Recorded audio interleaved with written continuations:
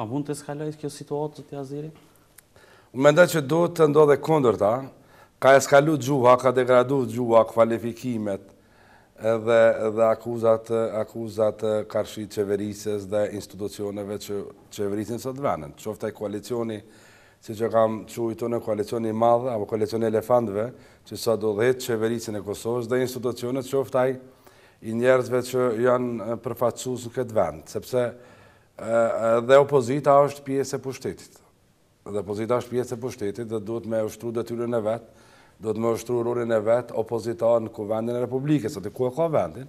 Nuk janë pjesë e ekzekutivit, nuk janë pjesë e organeve ekzekutive, po e ka peshën e vet e rolin e vet n'kuvend. Ajo që po ndodh po te ne është tendenca që roli opozitar me kalu, me eskalu në ngulfatje të institucionit, në